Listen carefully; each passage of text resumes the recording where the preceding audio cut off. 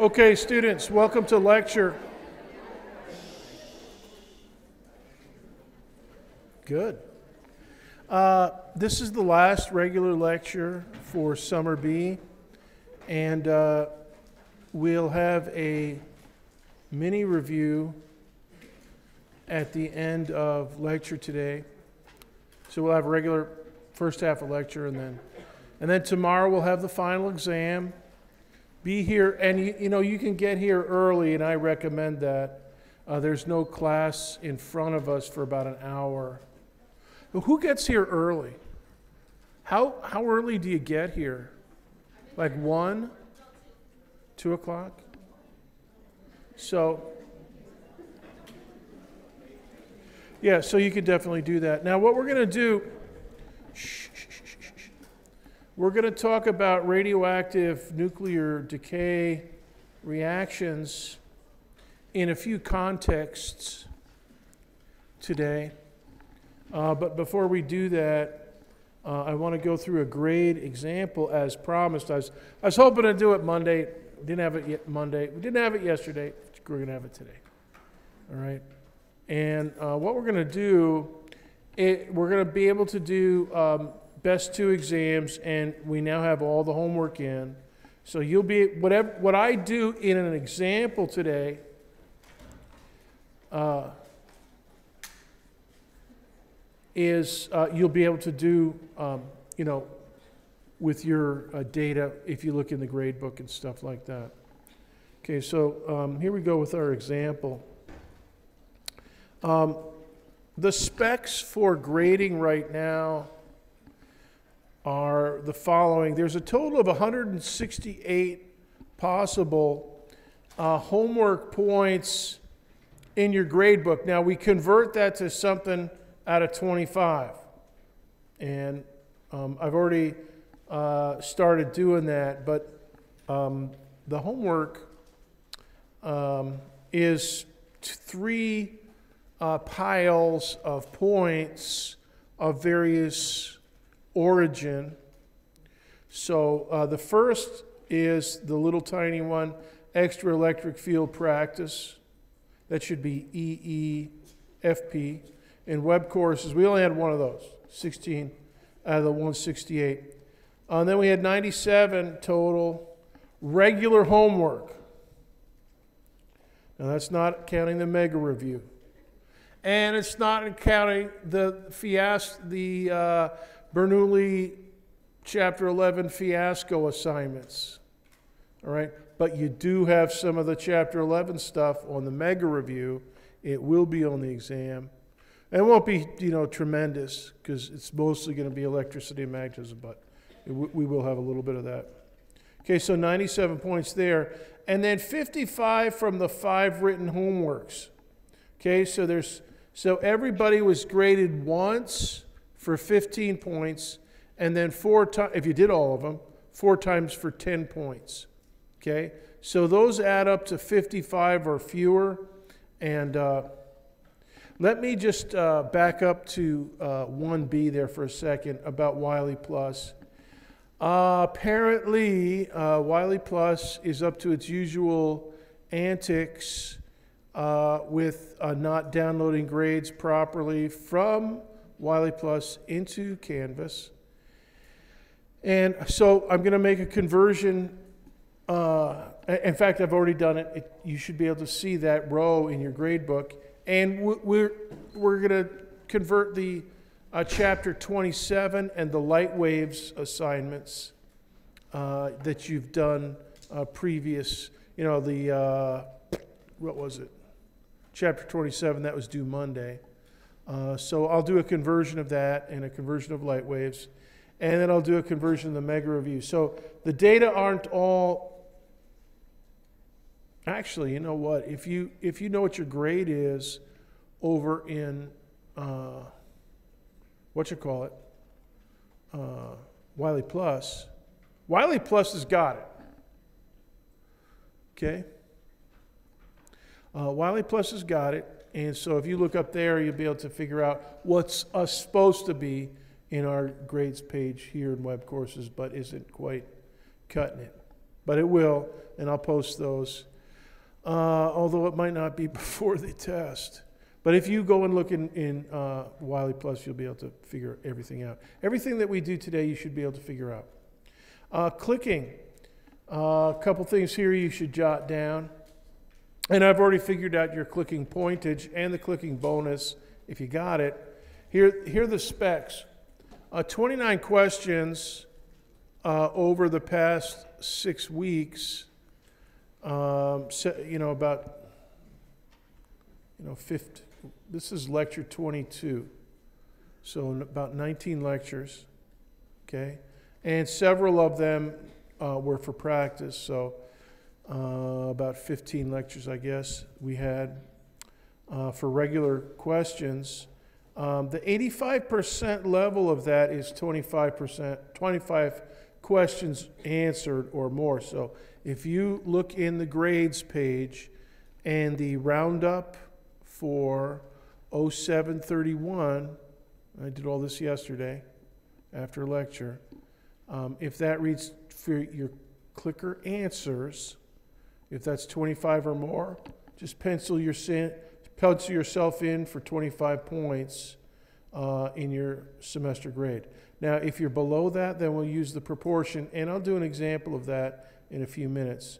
And we scale that down with that proportion, as we've already done once this semester, uh, to something out of 25, something below 25 for most of you. And actually, I've already done that for everybody. It's in your grades page. By the way, 76 percent of class had 23 or more points for participation. 23 out of 25, that's 92%. That's, that's an A on participation. So that's very nice. And uh, not many people were out of the 20s. And there were, I saw a few teens, uh, but you'll, you'll be able to see what you've got. Uh, for those of you that haven't been coming to class a lot, you're going to be scoring pretty low. But we'll do an example of that. The performance bonus. If you're if you answered 75% of the questions correctly, then you get four bonus points. So f- out of 29, that means if you've answered 22 or more correctly, and that's in the other roundup figure. Okay? Um, so that's uh, correct roundup July 31st in your grades page. All right. Now, if you didn't get 20, if you got 21, you did good, but you don't get the bonus points. You have to get a B on the, the clicking in class. And about, this one's different. About 10% of the class snagged these bonus points. And I know some of you, you were trying to get to that and you, you didn't. Uh, but we got other bonus point activity running. We're going to do some today uh, at the end of class. So, um, and remember, the uh, the basic data that I upload is, uh, or that that actually I export from the iClicker software, uh, gives me uh, two numbers encoded as one. A whole number tells me how many uh, you got right, and the decimal part um, to the hundredths place tell, tells me how, how many you answered. So you might have, you know, 18.25, meaning you answered 25 questions, 18 of them correct. Question?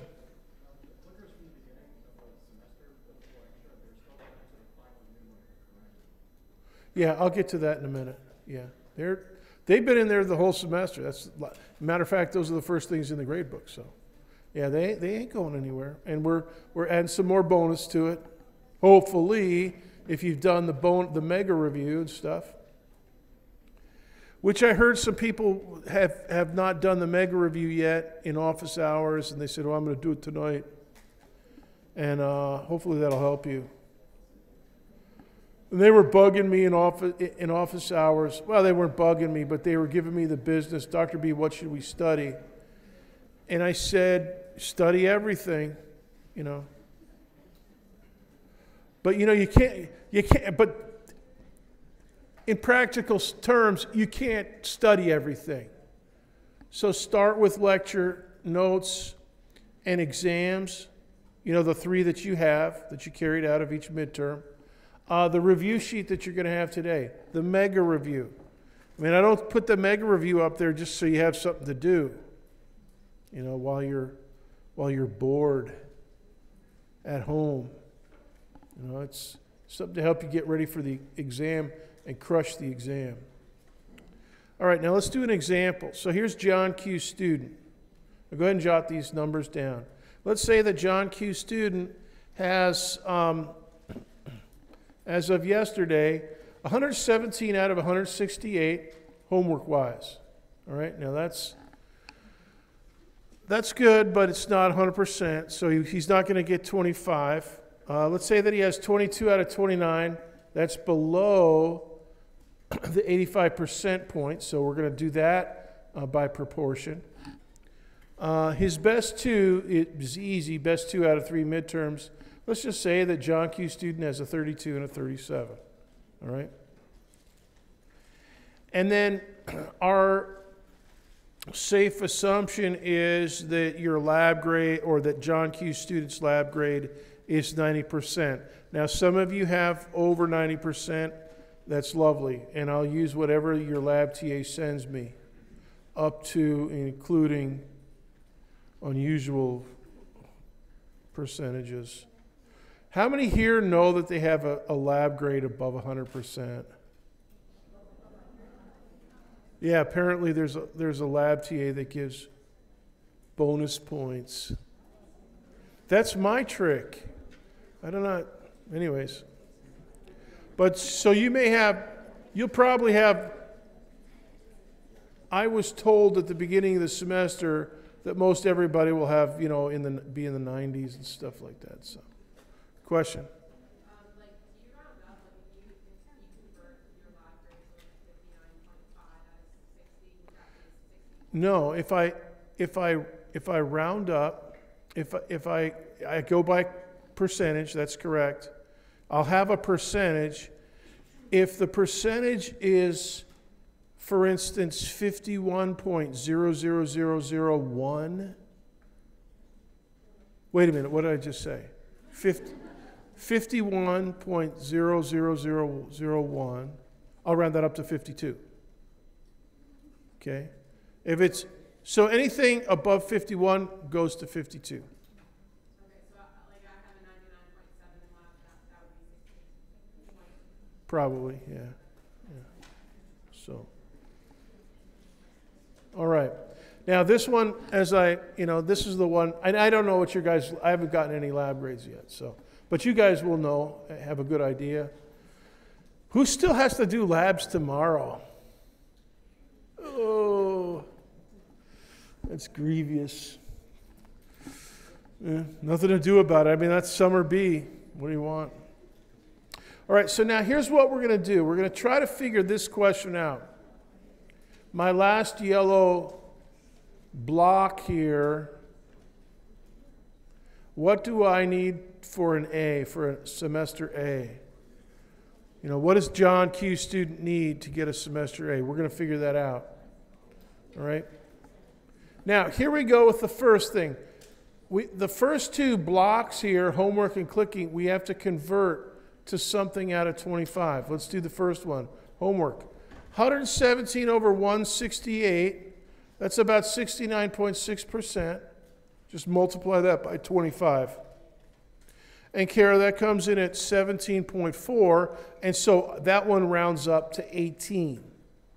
All right, so jot that one down, straight percentage, and then round up. So, uh, so homework, this particular student, 18 out of 20 Cinco. Right, so that's all right. That's a 72%, roughly. All right, now here's clicking. This one is a little trickier. You take your answering percentage. So this student has 22 out of the 29. You compute that percentage, divide by 0.85, the baseline percentage, and then you solve the equation. You basically multiply that by 25.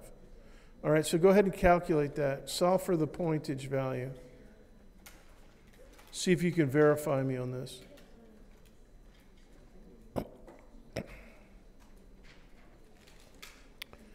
And usually I do a lot more clicker questions, but we had some technical problems with clicking, so I had to streamline the number of clicks. What do you come up with? Who's got a, who's got a, what do you got? 23.31? 22.31? And that goes up to? 23. All right, so there's what John, now he's doing a lot better. And notice, notice that this is 92%. That's an A on clicking. And uh, as I said, 70, I think it's 76% of class have at least this many uh, dineros for clicking. All right? And the clicking is much more uh, forgiving uh, because of the 85% factor. All right. Now, best two out of three, we already know that. Just add them up. So that's 69 out of 100. That's the Cinchy one. And then the lab grade is pretty cinchy as well. 90% of 60 is uh, 54 out of 60. And that one I would round up as well. If you come in a little bit below, you know, a whole number, I'll uh, round up to that next whole number. So we're still left with this question over here what do I need to get uh, to, uh, to get an A on the final? All right? And I know, or, and we're going to actually do what do I need to do to get a B on the final? What do I need to do to get a C on the final? And what do I need to do to get a, a D on the final? That'll be pretty easy to see for this example. Now, I know you guys are shooting for more than a D, and a lot of you are trying to shoot for an A, and more power to you if you can crush my final. And I predict, I make a bold prediction that there's somebody to the left of you. No, you look left. Don't look right. Come on, Dominic. Okay. You, you looked over there, man.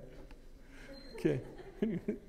somebody to the right of you, somebody in front of you, somebody behind you has never crushed an exam in this class and is going to crush the exam tomorrow. I don't know who it is, but I'll be able to see it as soon as I get the scores. And I'll look at that student and I'll say, Well done. You did it. At the last moment, you did it. And I see some guys up in the back over here. I'm not looking at them right now, and they're laughing. No, that can't be me. Yeah, it could be you. So don't. And, and really, I'm serious. I'm not just joking around. It's going to happen, I know. Especially a class this size. Even for guys that look right when they're supposed to look left. Okay. It's all right. Now, we're going to figure this out. Now, let's look at the points. You know, to figure out what you need on the final, you got to add up what you got right now. All right, so what's the sum total here?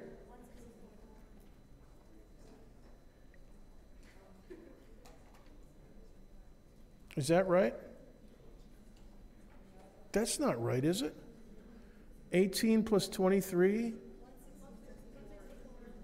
164? Oh, Lord. How did I type in? That must be a typo. Let me fix that.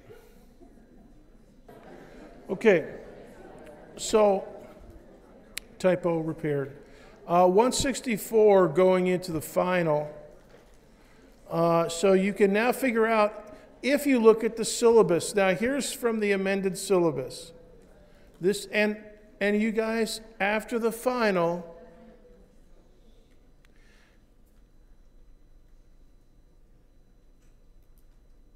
After the final, I go by points. I don't go by percentages and stuff. Okay, so if you have the points, you get the grade. If you don't have the points, you don't get the grade. All right? So 279 is what the student needs. Now they've got 164.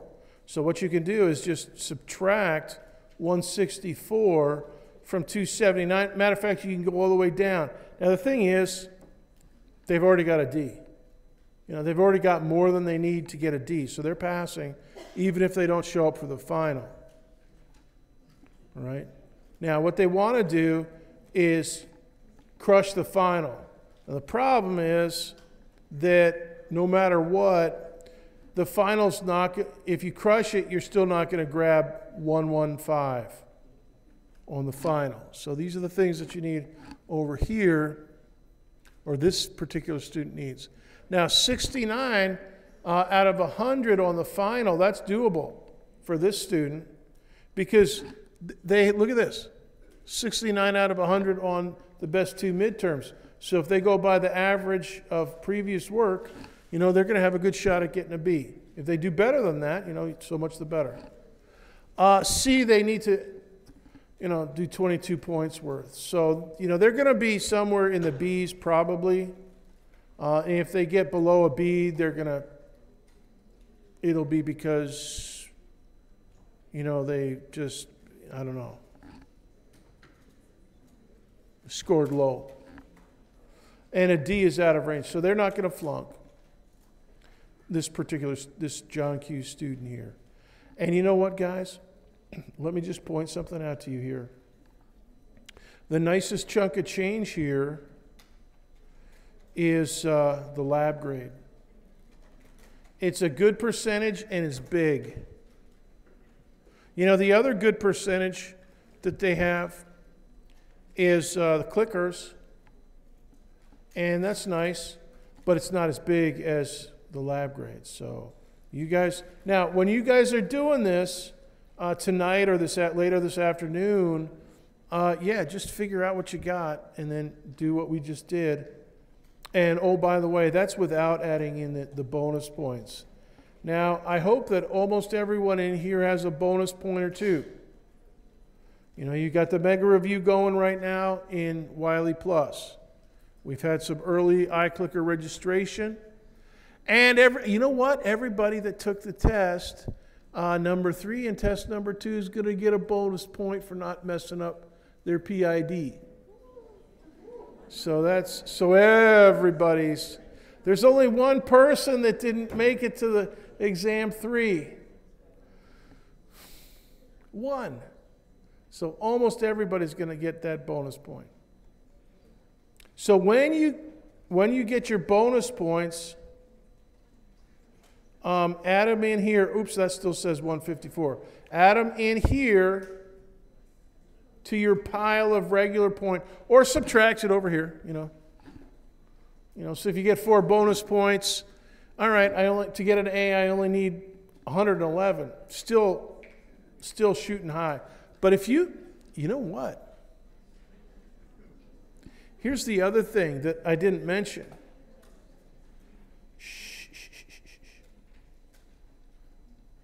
I sometimes put bonus questions on the exam.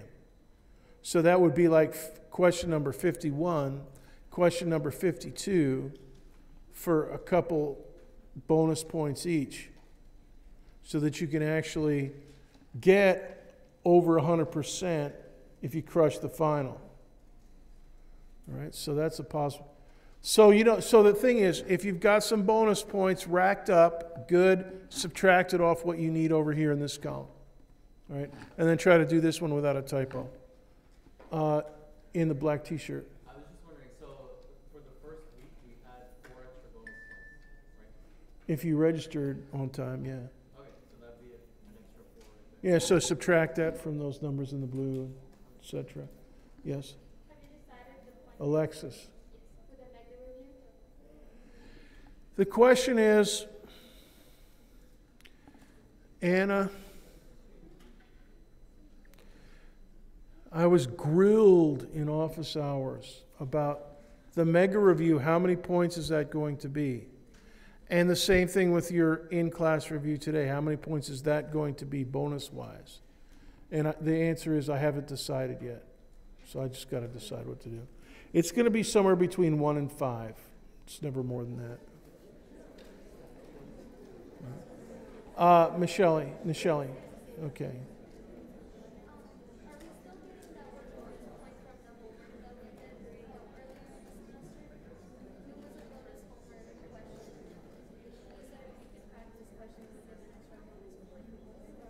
I did?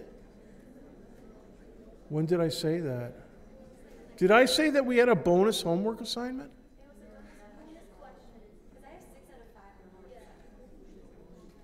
Six out of five.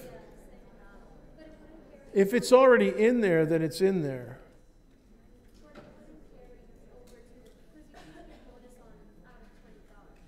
You mean on a written homework? The web courses homework? I don't think that's possible.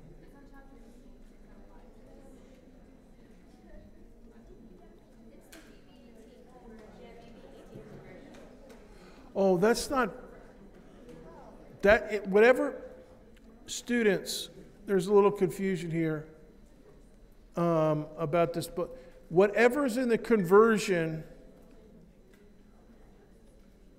row, that's what goes into your homework, and it's already in there. Right, so any, any pointage, you know, I'm not going to be recalculating anything there.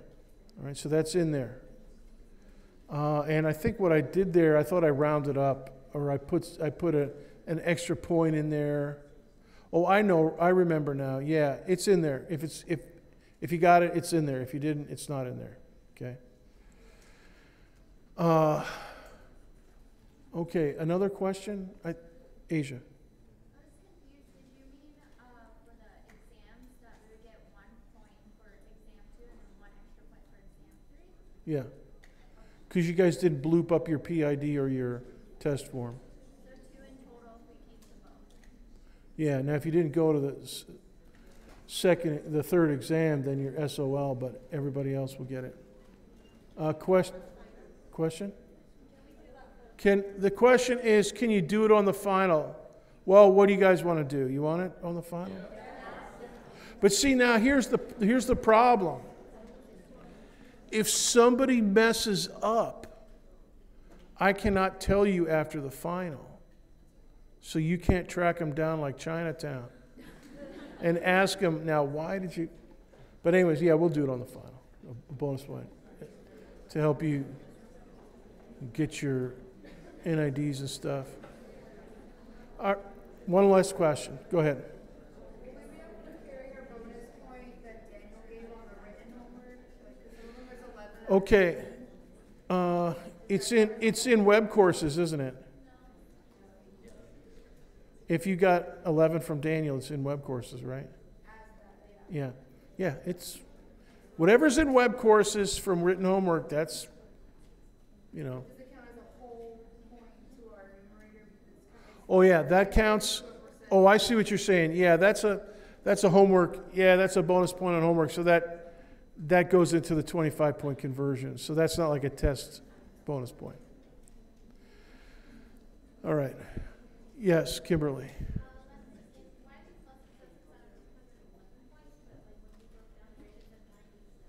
What? Repeat? Yeah, that's because there's all those ones that I that I blooped up. You know, the Bernoulli stuff, and there was stuff in there that I was that's still in there from when I was messing around with it. So the the the total that I have listed there, that's all the that's the Wiley plus 97. You shouldn't, I don't think. But I'm going to redo, I'm going to redo the, I have to do the light wave and the chapter 27. So, all right, let's keep going. Now, last time in physics topics,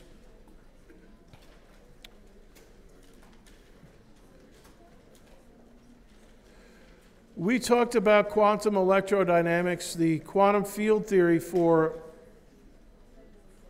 the electromagnetic interaction. And the most basic part of the model is electrons and photons interacting. And colloquially speaking, we think about it as electrons accelerating and therefore electromagnetism being created. Now, that's actually, uh, 2A and B are actually classical physics uh, concepts, uh, but you can, you know, you can still use it as a, as a way of thinking about this little uh, diagram here.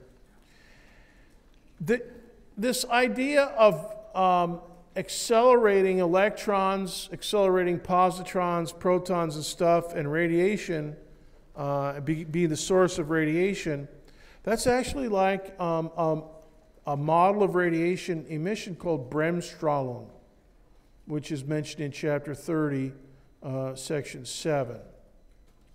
And uh, that's basic, that's a German word for the, uh, the rays that come from braking, from hitting the brakes, changing directions.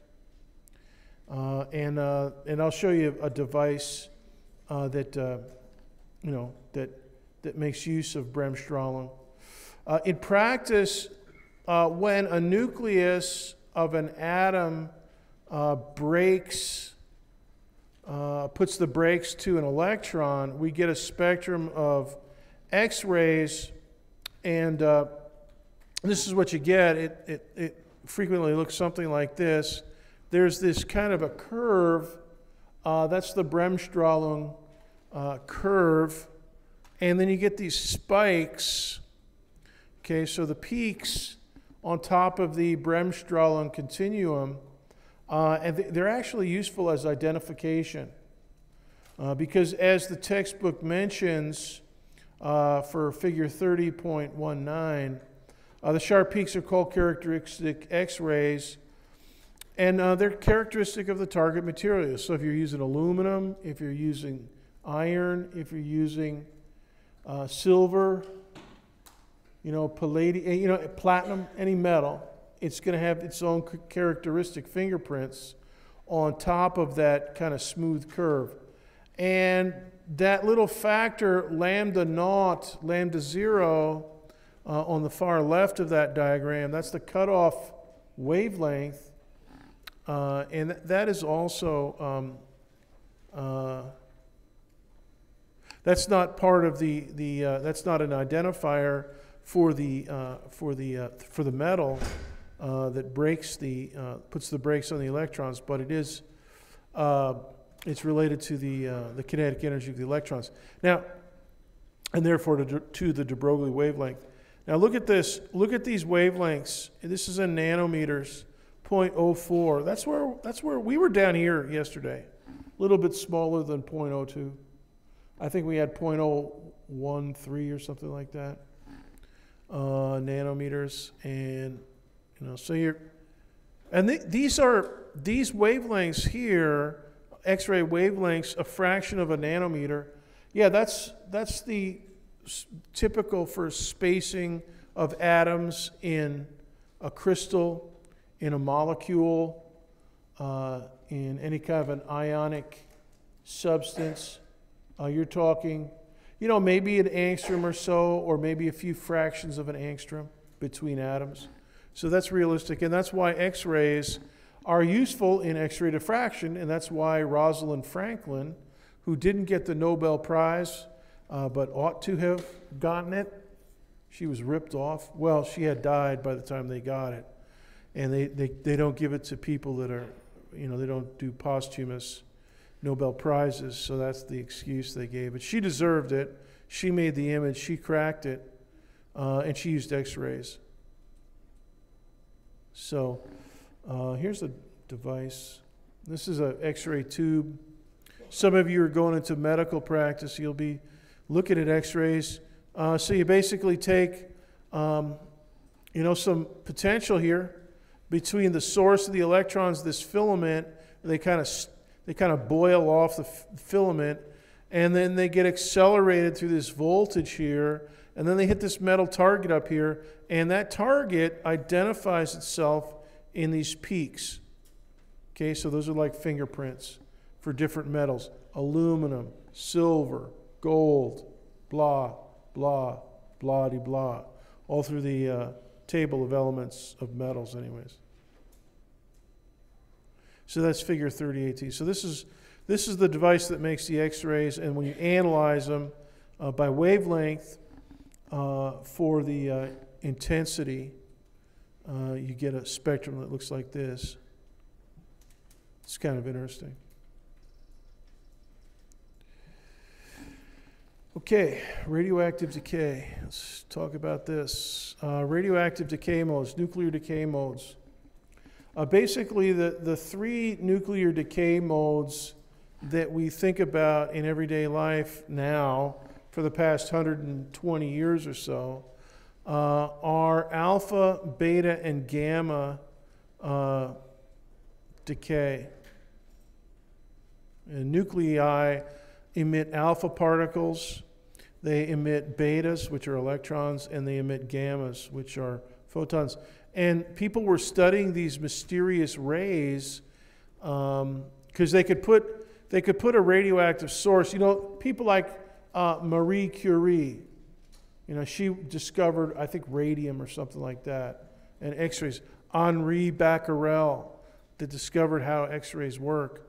Uh, they didn't know what these rays were. They could, you know, they could light up a phosphorescent um, piece of glass, you know, painted with phosphorescent stuff, and if it was in a magnetic field, they could steer the beams, and so they knew that they had three different kinds of rays, but you know, they didn't really know much. Initially, they didn't know much about the nucleus, and that's what we're going to talk about today. Okay, so alpha particle. Alpha particle emission uh, is uh, when, when your nucleus is slightly unstable,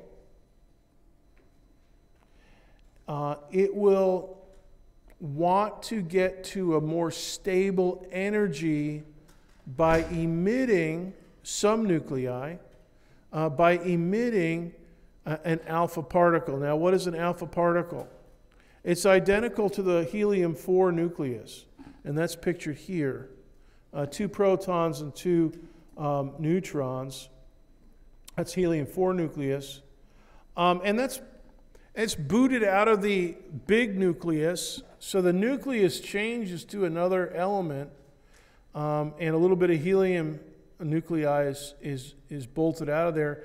And you've heard of the aurora borealis and the aurora australis, the southern and northern lights.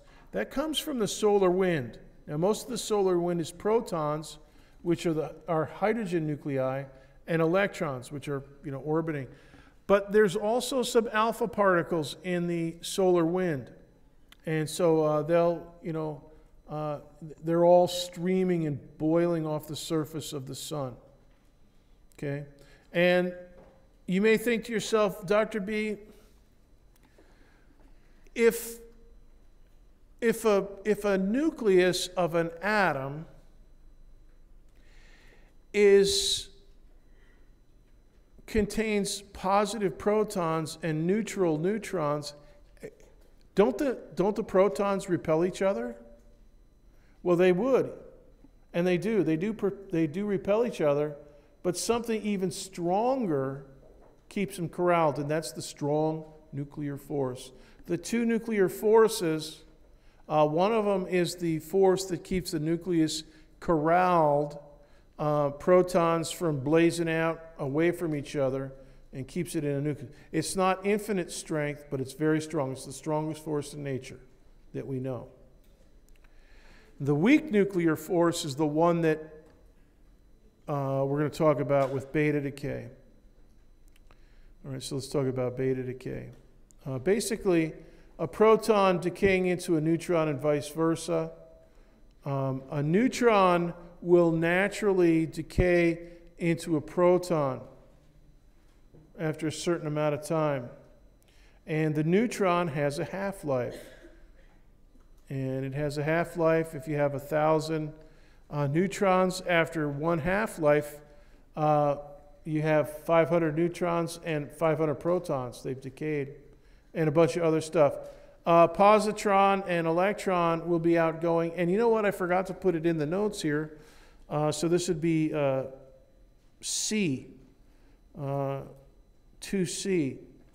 Along with positrons or electrons, uh, you also get something called a neutrino, N E U T R I N O. Now, I'm not going to go over neutrinos very much, except to say that they're very small. That's why they're called a neutrino, I N O, meaning little in Italian, I guess.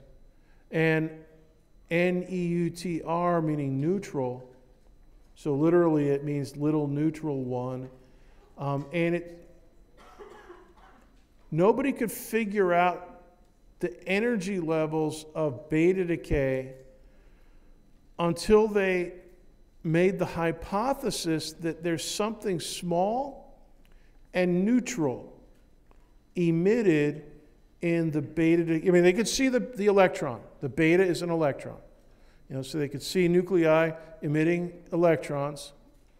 Um, and but they couldn't see anything else, and it just you know conservation of energy, conservation of momentum did not compute. So somebody said there's got to be something else. It's got to be neutral, and it's got to carry a lot of momentum, and that's what neutrinos do, and they're in the beta decay process. The beta decay process is found in nuclear fusion reactions like the fusion reactions that take place in the sun. And uh, that, that Spider Man movie with Doc Ock, and he's trying to control the fusion, the power of the sun, and stuff like that. That's an actual engineering problem, it's a scientific problem we're trying to figure out the solution to. Uh, how to contain a nuclear fusion reaction. Now, the, the, alpha particle emission up here, that's a nuclear fission reaction. It, you get two separate nuclei out, your, your nucleus breaks apart a little bit. You know, and this is a pretty small fragment, the helium 4 nucleus. Uh, but other nuclear reactions, you can basically take uranium, you know, split into two big pieces and get two nuclei out and you know cause a nuclear chain reaction with that. Uh, but beta decay is, is something that we see in a lot of fusion reactions, which is putting uh, nuclei together. Now, the third one here, the gamma emission, we've actually talked about it a little bit, X rays. Um, and the phrase I put in here is the nucleus relaxing. And I mentioned that. Hold on, let me make sure this doesn't log me off here. Um, the nucleus can be in an excited state. It's kind of like, you know, a, a, you know, a hydrogen atom can have electrons at the upper orbitals, you know, like n equals 5, and they're going to want to drop down to n equals 4, n equals 3, n equals 2, or n equals 1. That's the way nature goes. It likes to go downhill to lower potential energy. And same thing, uh, but with the strong nuclear force and the potential energy for that. Uh, and so a, a, neutron, excuse me, a nucleus is going to do that. And what a nucleus emits um, as it changes energy level, it's a much heavier object, a lot more energy, and therefore the photon it emits is a lot stronger. It's an X, typically an X-ray or a gamma. Um, and so, you know, Peter, getting back to Peter Parker, Spider-Man, he was bitten by a radioactive spider uh, and gamma rays, and also the Hulk was David Bruce Banner. But on, on TV, I think his name is David Banner. Anyways, Bruce Banner was exposed to gamma rays and became the Hulk. But, which those are, you know, those are comic books and stuff, but uh, gamma rays are a real thing. And actually, they're pretty dangerous. So, uh, also, I'll just point out a couple things here. Gamma rays from nuclear decay, that's one of the decay modes. Gamma rays are very penetrating. And they could go through the side of a mountain if they have high enough energy. Neutrinos can go through this. They're going, right now, you got neutrinos pouring through you, neutrinos from the sun. Uh, and they just, they're neutral and they're very small, so they don't really interact with any of the atoms in your body very much. You know, so you don't really notice it. But gamma rays, yeah, you definitely notice that. It, it fry your skin.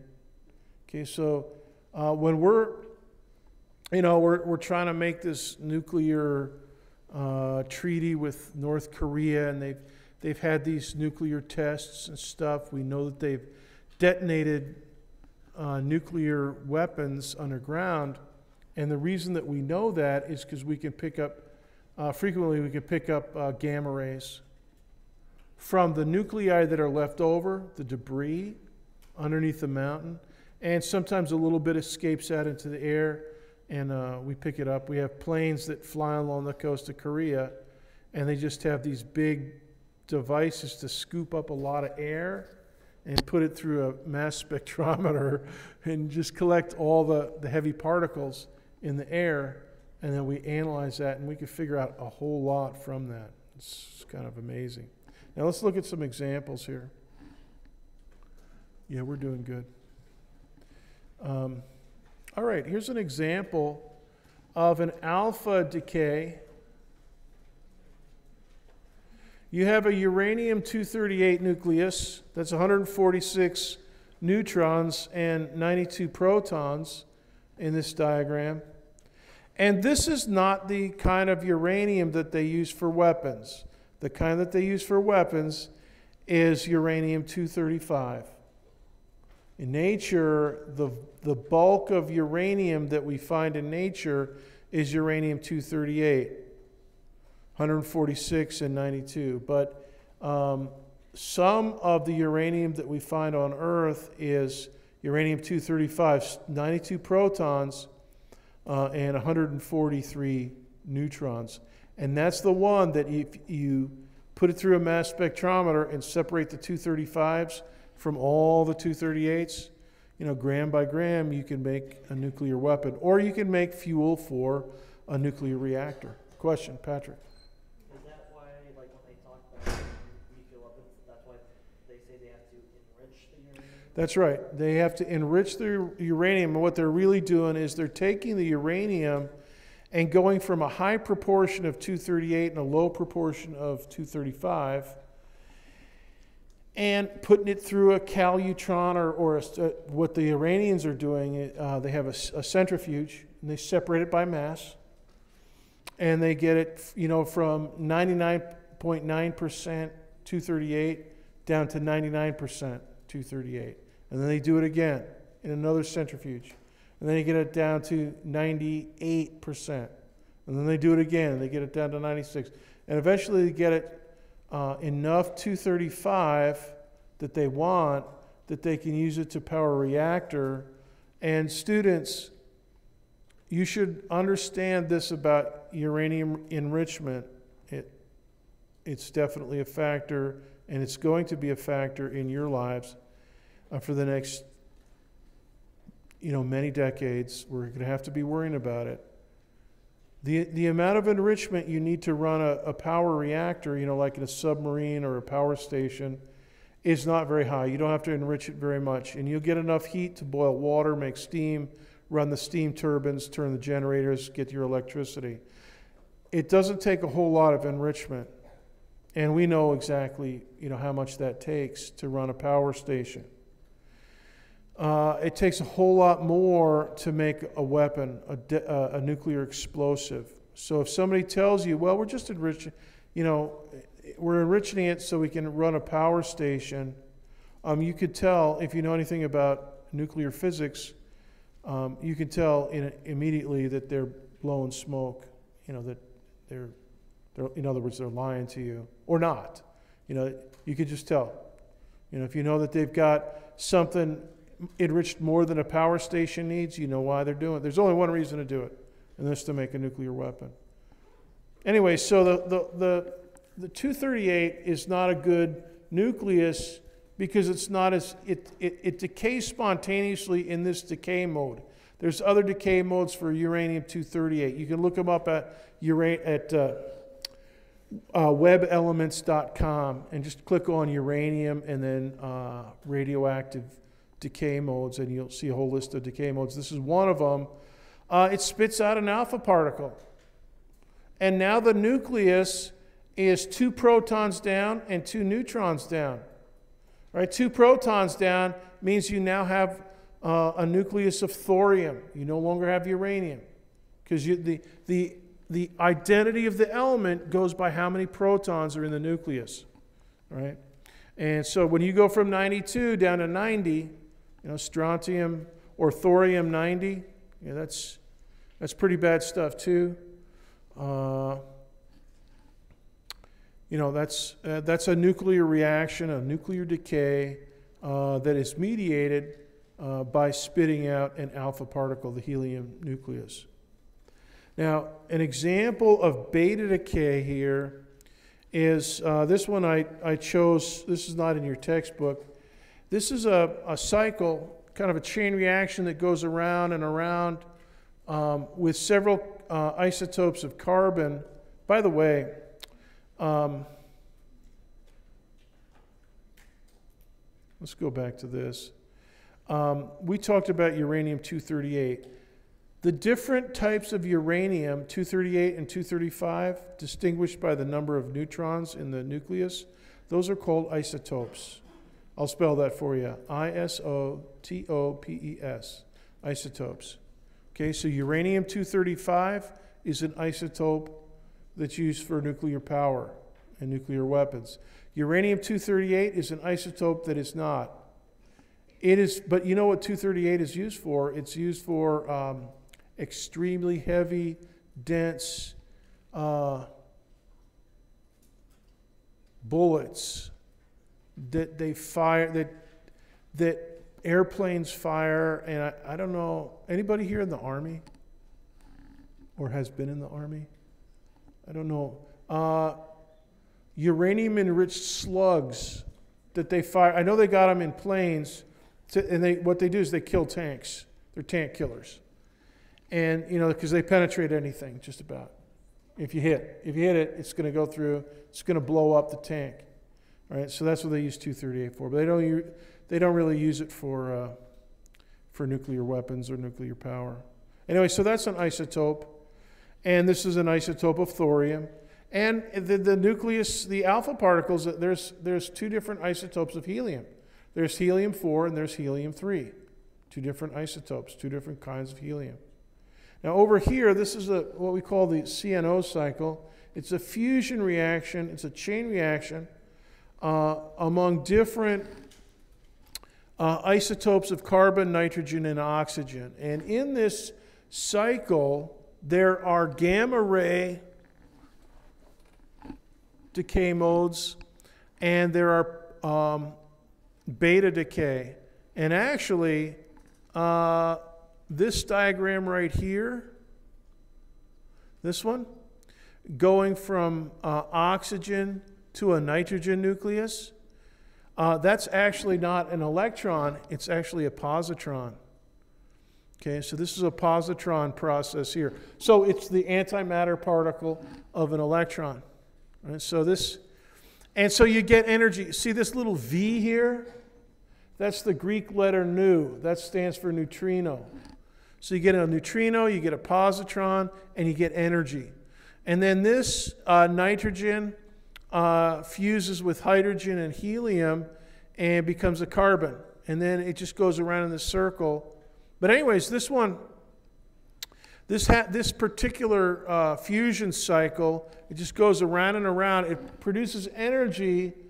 Um, and, uh, you know, for different outputs, here's, here's an outgoing helium uh, 4 nucleus, so that's an alpha decay. Uh, these are hydrogens in. Here's four, so there's four hydrogens in, and it goes around the circle, produces gammas, neutrinos, positrons. And then this positron here, and I think there's another positron over here, uh, those positrons, as soon as they uh, encounter an electron, zap, you get two X rays.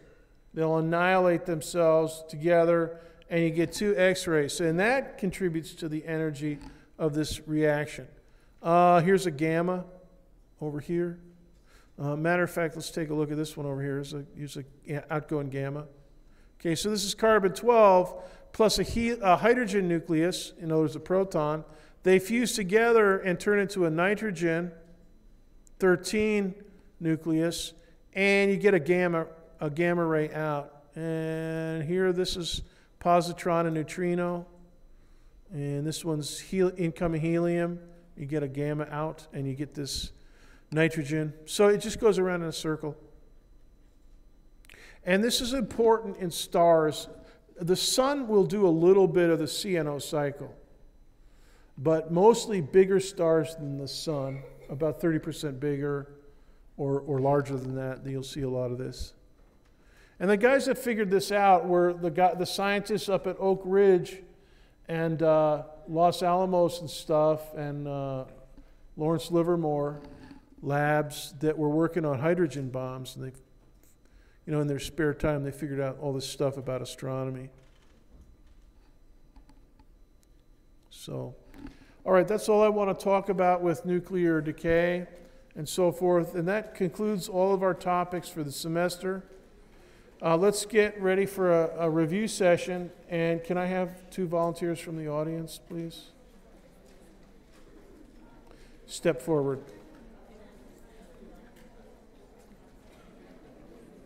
I need one more student to help. Nobody's going to help me. Okay, here comes Tatiana. All right. Okay. No, you're just going to pass out papers. Nothing, nothing too, let me just get this.